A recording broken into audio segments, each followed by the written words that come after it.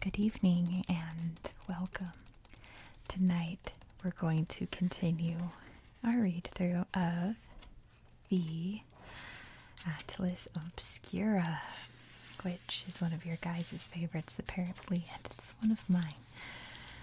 Um, if there's a series that you really like, that's, you know, any of my other books, just let me know in the comments because I have fun reading all of them, but this one's really, really enthralling, I think. So tonight we're going to read about Scandinavia. We're going to read about Denmark, Finland, Iceland, Norway, and Sweden. I've got my pencil bookmarked in here so I can get right to it. Let me set that down quietly and let's get started in Denmark. And apologies for any mispronunciations. I don't speak any of these languages, so if I get something completely wrong, feel free to correct me in the comments. So, like I said, starting in Denmark, we're going to the Rubjerg Knud Lighthouse in Loken Hjoring.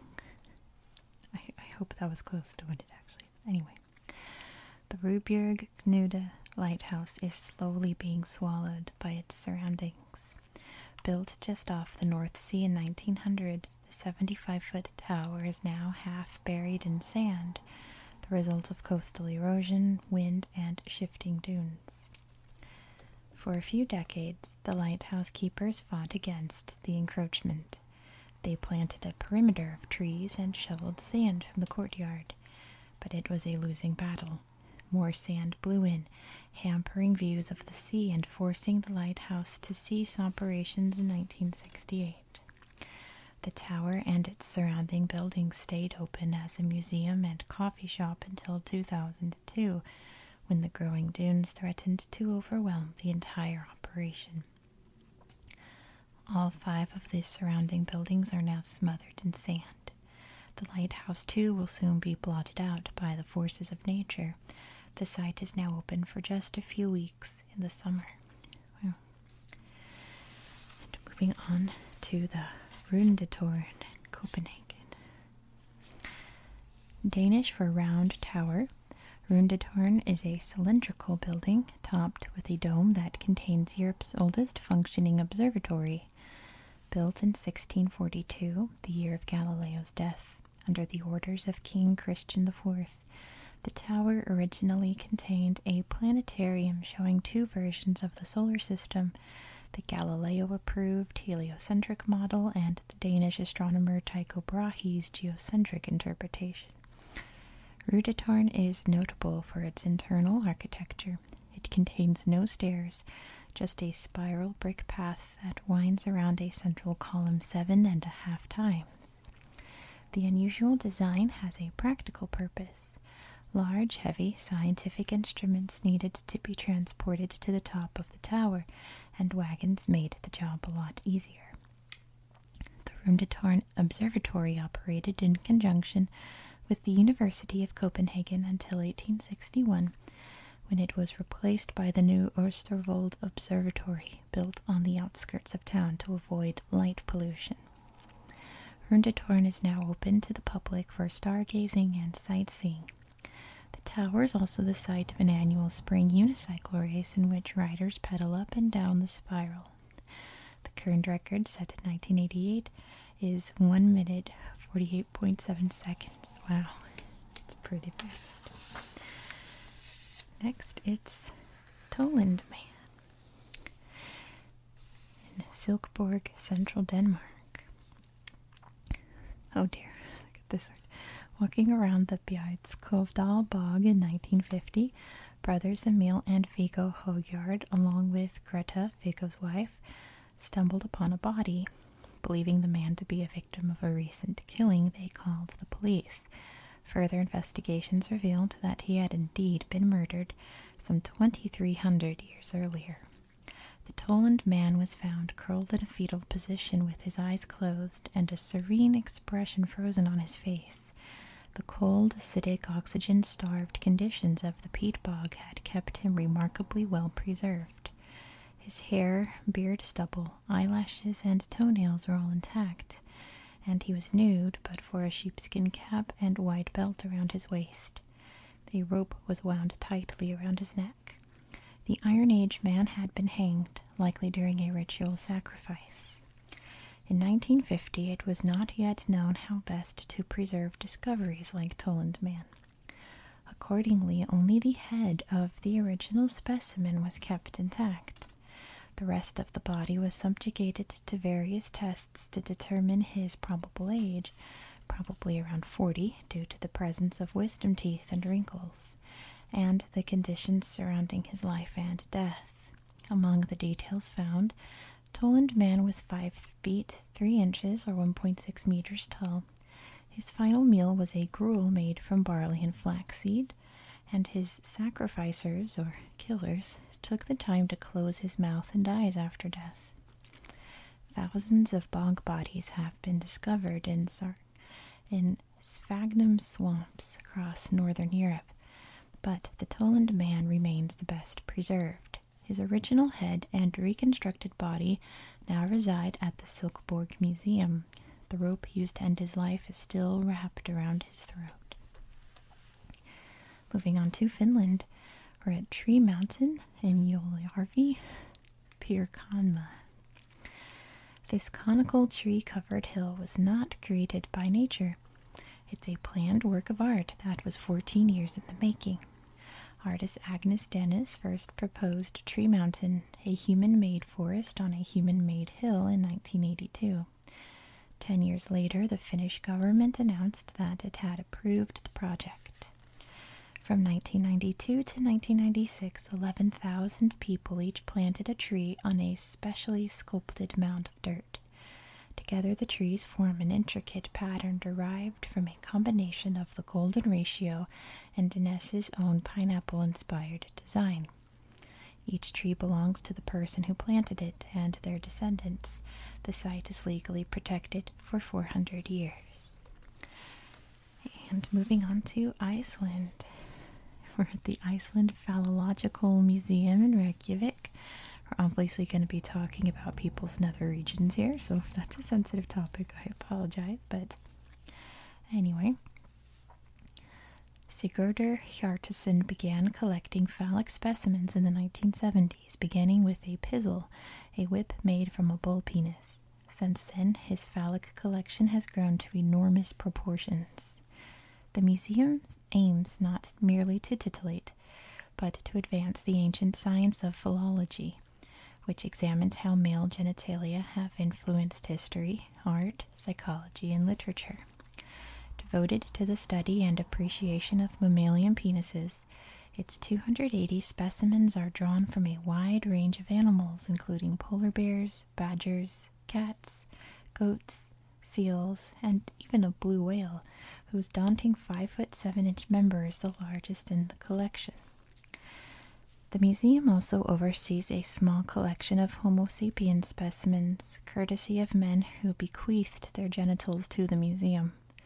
One of the donors, an American, made a cast of his penis, which he dubbed Elmo, to be kept in the museum until the real item could be donated. Another, 95 year old man from Iceland, decided to contribute his penis so that it might be preserved as an eternal totem of his many youthful indiscretions.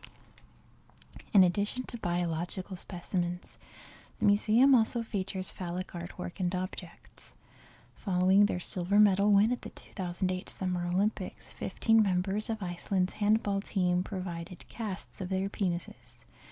They are painted silver and displayed in a row behind glass, the phallic equivalent of being featured on a cereal box like that. Next, we have the Arctic Henge in Raufarhöfn. Oh, that's beautiful. Located in one of Iceland's most remote northern villages, the Arctic Henge is a colossal piece of stone construction that, when finished, will make Stonehenge look like amateur hour.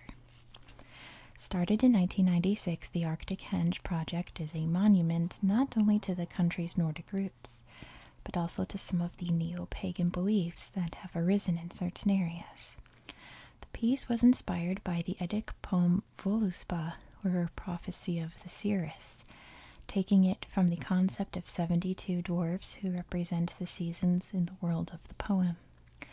The Arctic Henge, 72 small blocks, each inscribed with a specific dwarven name, will eventually circle four larger stone monuments, which in turn will surround a central balanced column of massive basalt blocks. Each aspect of the deliberate layout corresponds to some aspect of ancient Norse belief, and when each piece of the monument is installed, visitors will be able to capture the midnight sun by viewing it through the various formations at different vantage points depending on the season. So far, only the imposing central tricolumn and one of the four larger gates have been constructed, along with a smattering of the smaller stones. Moving on. That's beautiful, but next we're talking about the Necropants in Holm Holmavik. Holmavik.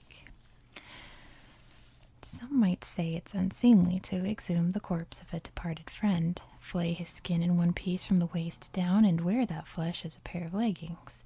These people do not know about the rich tradition of necropants, a wealth attracting good luck garment. According to the Museum of Icelandic Sorcery and Witchcraft, necropants were a real thing in 17th century Iceland. The rules were complex. First, you had to get permission from a living man to use his skin after he died. When he kicked the bucket, you would wait around for the burial formalities to conclude, then approach the grave and start digging. Corpse exhumed, you cut around the waist and peeled the skin from the bottom half of the body, making sure to keep it all in one piece. The next step was to steal a coin from a poor widow. This coin was placed into the scrotum of the necropants, where it would magically attract more money, leaving the wearer with a groin full of coins at all times. Once you'd had enough of the great wealth, or the necropants began to chafe, you would have to find another wearer to step into the magical leggings. In this way, the prosperity was passed down for generations. A pair of necropants is on view at the museum in a softly lit alcove standing on a bed of coins. Oh, Iceland. Next is Svartafoss. In this place, let's let me attempt. Kirkjubejar Klauster Skaftar Repur. Svartfoss, meaning Black Fall, is a modest waterfall in terms of height, width, and force, but its backdrop of black hexagonal columns makes for a rare and splendid sight. Columns are basalt crystals formed from lava flows that cooled over centuries, the same process that created the textured walls of Fingal's Cave in Scotland. Parts of the crystals often break off and plunge into the river, so mind the sharp rocks at the base of the falls. It's really beautiful. And next we have, let me attempt this one. It's um, Turig volcano in Blue Mountains County Park in Biofu. Volcanoes are usually best admired from a safe distance, but Iceland's Thregnukageiger is so geologically unique it is possible to go right inside the heart of the volcano. The three calderas of Thregnukageiger have lain dormant for so long. The last eruption was over 4,000 years ago. Brave visitors can actually descend into the volcano's colorful magma chamber. An open elevator takes you over 600 feet down into the depths of the enormous crater, which is so large it could fit the Statue of Liberty in its entirety. Inside the cavern, you're met with a surreal sight. Rather than the jet black obsidian you might expect, the craggy walls are covered in a gleaming pearlescent rainbow of color that almost makes the cave look like it's composed purely of gems. This is the only place on Earth where you can take a cable lift into the heart of a volcano thanks to a strange natural phenomenon. Usually, after an eruption, the roiling magma cools and solidifies in place, effectively plugging the opening. But somehow the fathoms of magma that once boiled inside one of Thregnuka Geiger's peaks sank back down into the earth, leaving behind a massive open cavern. That is so beautiful. That would be something to see, wouldn't it? Next we have the Icelandic Elf School in Reykjavik. When Icelandic Member of Parliament Arni Johnsen escaped unharmed from a car crash in 2010, he knew whom to credit for his survival elves. After rolling five times, the politician's SUV came to rest beside a 30 ton boulder. Jonsson, believing that multiple generations of elves called that boulder home, concluded that they used their magic to save him. When roadwork later required the removal of the boulder, he claimed it for himself, transporting it to his home to ensure the elves would continue to watch over him. Johnsen's beliefs are not unusual. According to Icelandic folklore, thousands of elves, fairies, dwarves, and gnomes, collectively known as hidden people, live in rocks and trees throughout the country. It is no wonder then that the world's only elf school is located in Reykjavik. Hmm, historian Magnus Skarth try that again. Skarfethinsen Skarfethinsen, who has spent decades documenting people's encounters with elves, established the school in 1991. Classes focus on the distinguishing characteristics of Iceland's 13 varieties of hidden people. The school also offers five hour classes for travelers, which include a tour of Reykjavik's elf habitats. Students receive a diploma in hidden people research. Skarjaftinsen has never seen an elf. His knowledge of their appearance and behavior comes from the hundreds of testimonies he has collected from people who claim to have made contact with hidden people. Though Skarfinthinsen has devoted 30 years to the subject and considers himself the foremost authority on elves, he maintains a sense of humor about it all. At the end of class, he serves homemade coffee and pancakes and tells stories about the people who come up to him to say, I swear I'm not on drugs, but I saw the strangest thing. Next, we're going to Norway. I need to adjust my headphones, they're slipping off my head. There we go. Okay. The Svalbard Global Seed Vault in Longyearbyen, Svalbard. A winter night in Longyearbyen lasts four months. In the ice covered mountains, the darkness is broken only by a slim concrete building that emits a pale blue glow as it overlooks the 1,000 resident town. The simple structure offers no hint as to what's protected inside a collection of seeds that could save humanity. Due to a loss of genetic diversity among commercially cultivated crops, which tend to be grown from clonal monocultures, many worldwide food crops are at risk of disease. Mutated strains of fungus or a new bacterium could potentially wipe out an entire world crop in a matter of months, causing massive food shortages. The Svalbard Global Seed Vault was established by the Norwegian government in 2008 to function as a sort of genetic safe deposit box. The facility has the capacity to conserve 4.5 million seed samples. Under the current temperature conditions in the vault, which are similar to those in a kitchen freezer, the seed samples can remain viable to begin new crops for anywhere from 2,000 to 20,000 years. Svalbard was chosen as the location because it is tectonically stable and its permafrost provides natural refrigeration in case of a power failure. There is no permanent staff at the seed bank, but it is monitored constantly using electronic surveillance. Access to the vaults, open only to employees, requires passing four locked doors protected by coded access keys.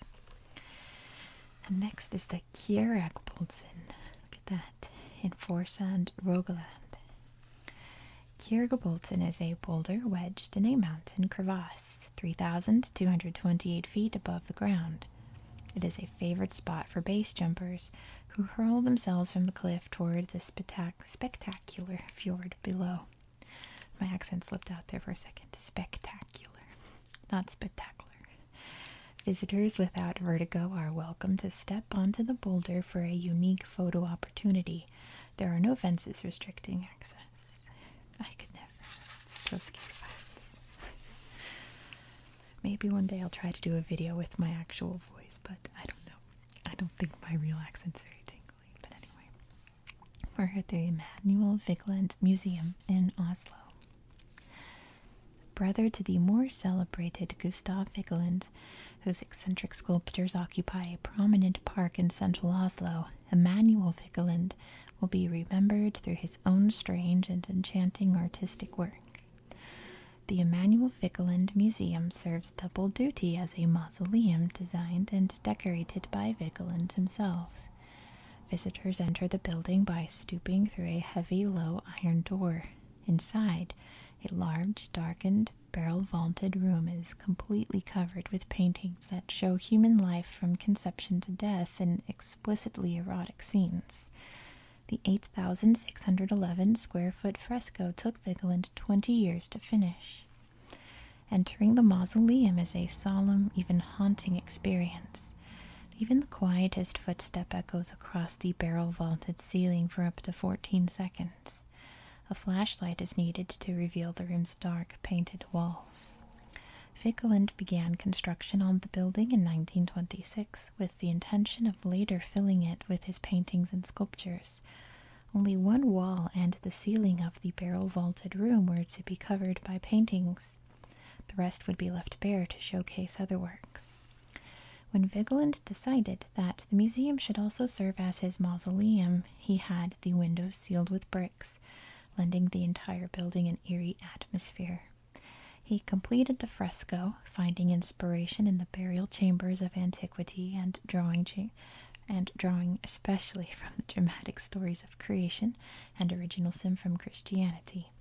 Named Vita, or Life, the fresco focuses on humanity's sexual instinct portrayed by naked bodies captured in an impressive array of intimate acts. After Vigeland's death, his ashes were put to rest in an urn that sits above the main entrance. Now run by a private foundation, the museum was opened to the public in 1959, more than a decade after Vigeland's death. Today, the museum is open for only a few hours each week, but it plays host to several concerts, sometimes involving didgeridoos, throughout the year. Alright, off to Sweden, to the Ytterby mine in Stockholm. Ytterby. Anyway, Ytterby. Army lieutenant and part time chemist Carl Axel Arrhenius was excited when, in 1787, he came across a strange heavy black rock in an old quarry near the Swedish village of Ytterby. Arrhenius named the newly discovered substance, because elements were not yet recognized, Ytterbite, after the town. A plaque now marks the site. Also present in the quarry was a crude mineral called yttria, which was the oxidized form of yttrium. Silver yttria contained four rare silvery white elements. Ytterbium, now used in electrodes and lasers, terbium, used to make microprocessor chips, erbium, used for medical lasers, and yttrium, used to make phosphors for LEDs, making the site the single richest source of elemental discoveries in the world and giving the town of Ytterby an outsized presence on the periodic table. Next is the Sweden solar system in Stockholm. Created at a scale of 1 to 20 million, this country spanning model is the world's largest representation of the solar system. It is anchored by Stockholm's spherical globe arena building, which represents the sun. The inner planets, all appropriately scaled, are dotted around Stockholm and its suburbs. Further north are Pluto, still part of the lineup despite its 2006 reclassification as a dwarf planet, and fellow trans Neptunian objects Ixion, Sedna, and Eris. A plaque in Sweden's northernmost city of Kiruna 592 miles away, marks the spot for a termination shock, the point at which solar wind slows down and causes changes in the magnetic field. In 2011, vandals snatched Uranus from the town of Gävle, 100 miles from Stockholm. But in October 2012, a new model of Uranus appeared a few miles south in the village of Lövstabruk planet's new location reflects its orbit position when closest to the sun, so the solar system model is still accurate. Isn't that where that goat is burned every year? Well, burned by like vandals. Kind of makes sense that it would still be Uranus from that. Anyway, the last place we're going to explore tonight in Sweden is the Lund University Nose Collection in Lund, Scania. The 100 strong nose collection at Lund University contains plaster casts of some notable Scandinavian snouts, including a cast of the metal prosthetic famed Danish astronomer Tycho Brahe wore after losing the bridge of his nose during a sword duel. That's like an astronomy fact that every like astronomy person knows that Tycho Brahe wore a fake nose. But anyway, that's going to be it for tonight. So when we continue this book, we'll head into Asia and read about the Middle East. So thank you so much for watching. Look at this cool cover. Let curiosity be your compass.